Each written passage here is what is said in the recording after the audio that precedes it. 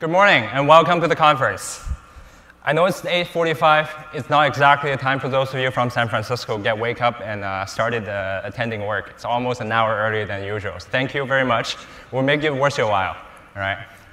Um, so to get started, I want to talk about how we got here. And to do that, let me tell you the story of Lester. 10 years ago, 2008, Lester was a PhD student at the UC Berkeley AMPLab studying machine learning. And 2008 was a very special year for Lester. Around then, Netflix started the Netflix Prize, or the Netflix Challenge.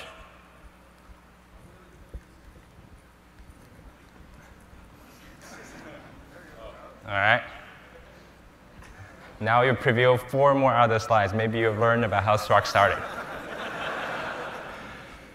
how many of you remember the Netflix Prize a decade ago? Quite a few of you put up your hands. For those of you that don't remember or don't know about it, the Netflix Challenge, Netflix as a company anonymized 100 million movie rating datasets from their users and started a public competition. In that competition, anybody could participate. Whoever could come up with the best recommendation movie algorithm will win $1 million. It is $1 million, and that's a lot of money for Lester, who was a poor PhD student. But more importantly, Lester has been working on toy academic machine learning problems without access to real-world data sets. When he saw this competition, he jumped on it. Now, to actually win the $1 million and to come up with the best recommendation algorithm, Lester wanted access to a lot of data. He wanted access to all the data, as a matter of fact, in the data set. Why? Now, to illustrate with a very simple example, let's imagine Lester wanted to build a uh, predictor for a specific movie. The only entry, only feature he has is the age of the user. In this case, you have seen on the screen, there's actually four data points. Maybe there's actually a correlation between age and the rating the user would actually give on this specific movie, but maybe not. What happens if you want to predict the rating this particular user would give to the data set? It's kind of unclear. Now, imagine you have a lot more data. It becomes very obvious for a user of this particular age, it's very unlikely the user will rate the movie highly. So Lester, in order to win the data set, Lester wanted access to all of the data to be building his machine learning models. And to do that, he had to scale up beyond a single machine because he couldn't fit all the data sets on his laptop. And he looked around. He found hmm, Hadoop was actually the leading framework for uh, doing distributed data processing back then.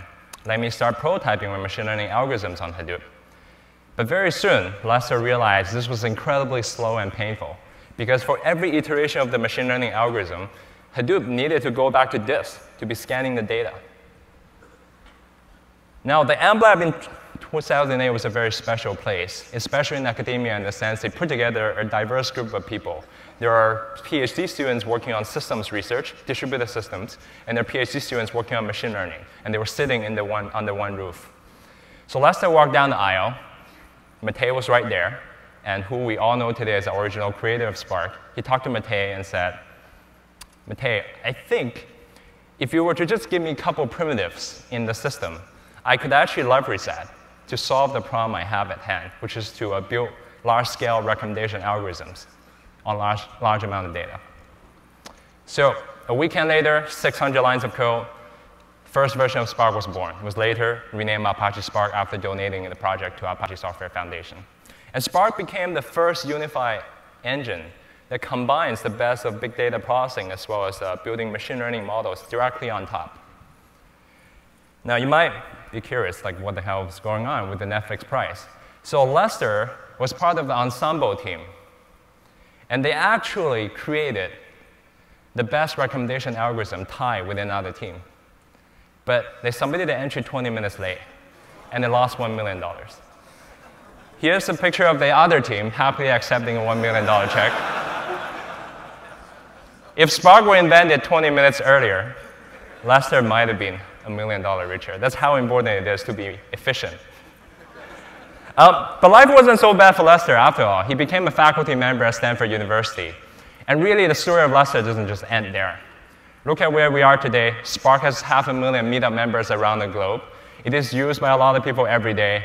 According to Stack Overflow's 2016 developer survey, Spark was rated top paying tech, which indicated tremendous demand from employers. Time to ask for a raise. And in 2017, actually, what struck me the most was Spark was really one of the most loved technology by developers.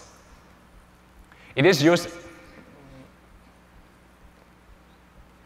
it is used everywhere, from leading internet technology companies like Facebook all the way to powering state-of-the-art um, physics experiments at CERN. And more importantly, look around you. There's 4,000 of you here today to celebrate Spark and Spark Plus AI. This is the first year we renamed the conference to explicitly include AI and how Spark can work together with a lot of other AI technologies. And on that note, I want to introduce you to a new project we've been working on called Project Hydrogen. And the goal of Project Hydrogen to enable first-class support for all distributed machine learning frameworks on Spark. Why does people love Spark? I think the real reason, while a lot of you were drawn to Spark initially because of the 100x speedup over Hadoop MapReduce, but the real reason people love Spark and stay with it was because of the unified nature. For the first time in history, you could actually write a single data pipeline in a single program that reads a lot of data for a variety of data sources, be it object stores, distributed file systems, relational databases, or even streaming message buses. And it could prepare, transform, clean your data, and then directly be running machine learning models on top of them all in a single unified data pipeline, which means it's much easier to develop, debug, test, and operate. It was incredibly difficult to even write a single test case that could cover your entire data pipeline before Spark existed. And now it's actually possible. But in the last few years, there's another megatrend that happened. In this megatrend, it was the explosion of machine learning frameworks. Starting with MLlib, TensorFlow become an extremely popular option, MXNet, PyTorch, CNTK, and a lot of other frameworks, and new ones are popping up every day. We're increasingly seeing Spark users wanting to combine Spark together with these frameworks. But when you use just MLlib, you have a unified um, data pipeline. But when you try to use other frameworks, the unified nature start to break down. And we see users mainly primarily using two different options. The first option this clicker is really flaky.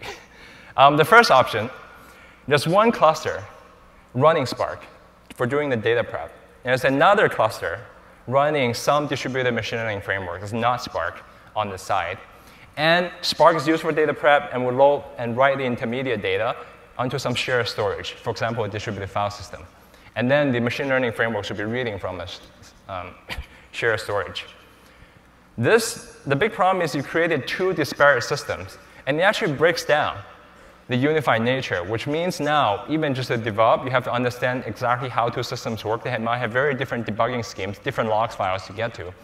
Um, it's very difficult to test. Just writing a single test case in Scala or in Python becomes very difficult. And it's also very difficult to operate.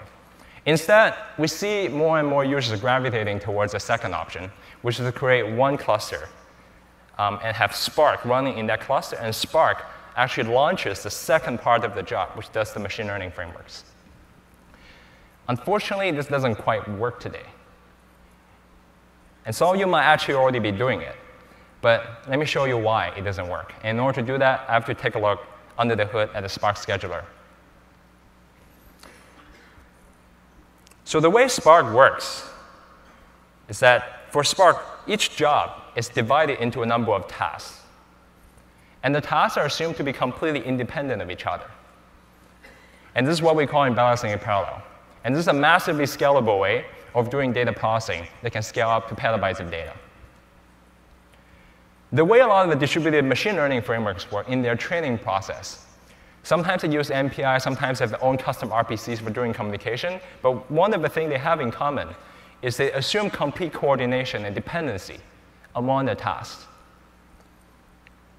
And what that means is this pattern is actually optimized for constant communication rather than for large-scale data processing to scale up to petabytes of data. What happens if one of the tasks fail? In the Sparks model, if a task fails, because the tasks are independent of each other, we just need to launch that task and that task alone. That's enough for fault recovery. But in the case of the uh, distributed machine learning frameworks, if one of the tasks failed, because there's complete dependency, all the tasks needs to be launched. And if only a subset of a task, only even one of the tasks gets launched, that task will actually wait there for all the other tasks to be launched and actually hang. So there's actually a fundamental incompatibility between the way Spark scheduling works and all of these distributed machine learning frameworks work. So Project Hydrogen is a new SPIP, so Spark Project Improvement Proposal that aims at actually introducing one of the largest changes to Spark scheduling since the inception of the project, since the original 600 lines of code. And introduced a new system primitive, a scheduling primitive, called gang scheduling. And in this gang scheduling mode, as evident from the name, the tasks are scheduled all or nothing, which means either all of the tasks get scheduled in one shot, or none of the tasks get scheduled at all.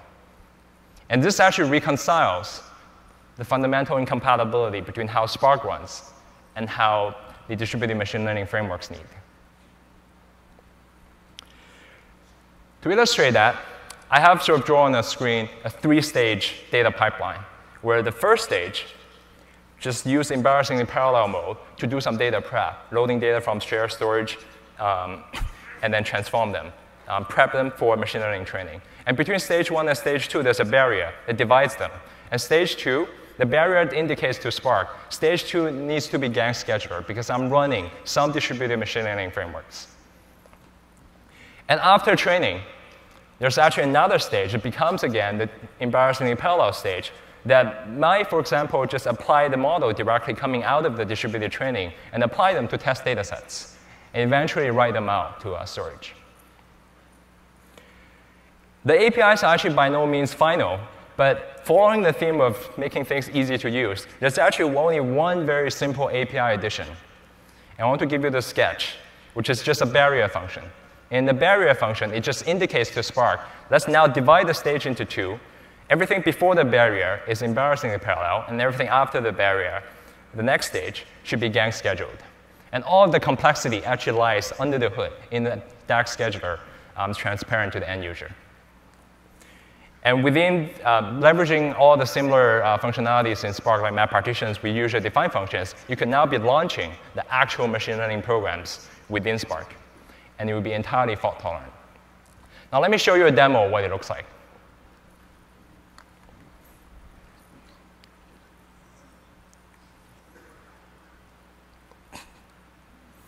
So what I have here is a Databricks notebook.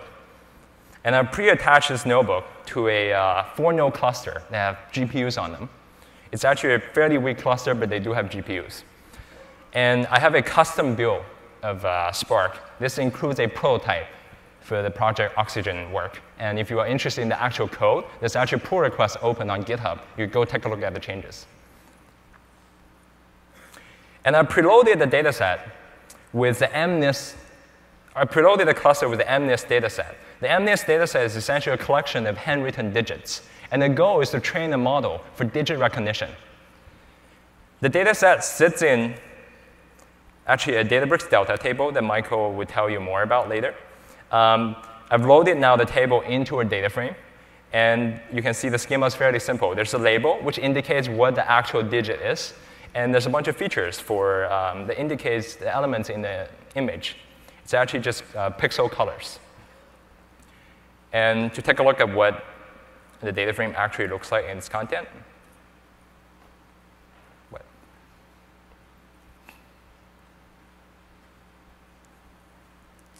You'll soon find out why it took a while to display this. Um, so you can see for a label 6, this is actually the uh, data for that image. Right? It's a bunch of zeros because most spaces are actually white. But at some point, there's actually value. If you keep scrolling, you can see here. Now, I have this very simple program. Let me launch it and I'll explain what it does. This six lines of code loads the data frame, repartition it to two machines, because I only want to use actually two of the machines um, for training here. And it calls a two pandas RDD, which is a function I just defined that converts um, the data in the data frame using Apache Arrow into a format that um, a distributed training framework actually expects. And the distributed training framework I'm running here is Horovod, which is a um, framework built by Uber that runs on top of TensorFlow and combines TensorFlow and MPI to do distributed deep learning training. As you can see, there's a barrier interface here. It's what we showed you earlier in the API slide. It indicates to Spark the next stage, which just runs Horovod, needs to be gang scheduled. And then we'll collect back actually the model um, and building the model. So here, six lines of code to build the model. This is now as simple as running some machine learning algorithm defined already in Spark and MLlib. But now, with exactly the same ease of use, exactly the same lines of code, you could actually run any other frameworks. And you get the same properties you get if you run the entire thing within native Spark code. The same set of fault tolerance properties, the same set of speedups and recovers.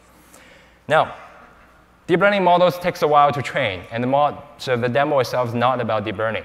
So let me actually show you um, applying this model that I've trained actually last night into a streaming workload. So here I have another notebook. In this notebook, we're actually reading a stream in. I pre-created 8 million actually images, send them into Kafka. So we created a streaming. I want to do live prediction on the fly. And all I'm doing here, I'm just creating, I've created a data frame user-defined function that calls predict using GPU. All this user-defined function does, it takes the model built by an offline training pipeline that I've just shown you earlier, and I'm applying that directly to the streaming data coming in. And I'm displaying, just Xiangrui sitting there have actually pre-launched this for me, so I don't have to wait for it to be launched. Um, but here you can see it's actually already processing 2,000 images per second directly in this two lines of code. And you can see the actual prediction result. Most of the time, the model is correct. Seven, it was predicted seven. Three predicted three. Sometimes it's wrong. Two predicted eight, and one predicted six. And now I could actually go back and tweak the parameters. But it gives me a very quick way of iterating because now I have access to a cluster and I have access to all the power of Spark.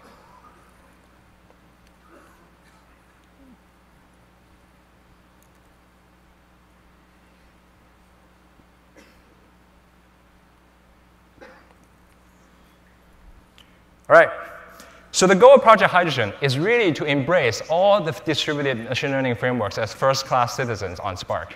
One, to make every other framework as easy to run as just MLlib directly on Spark.